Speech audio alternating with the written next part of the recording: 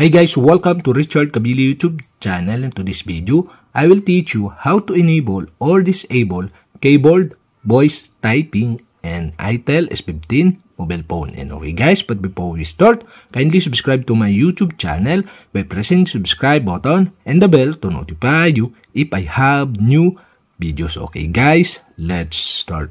So okay guys, here in your ITEL S15 mobile phone, you'll have to do is go to settings,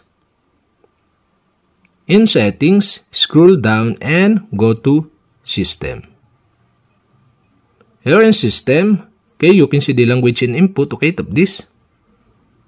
In language and input and keyboard and input section, you can see the virtual keyboard. You'll have to do is tap the virtual keyboard. In virtual keyboard, go to Gboard.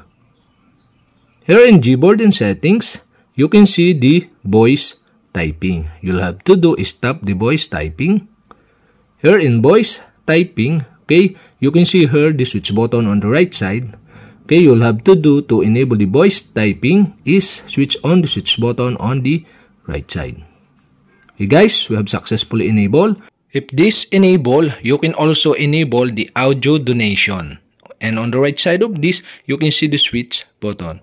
And to enable the audio donation, you'll have to do is switch on the switch button on the right side. And okay, after that, the pop-up are show, okay, select or tap the I'm in button on the pop-up. And another pop-up and scroll down and tap the agree button below to enable the audio donations.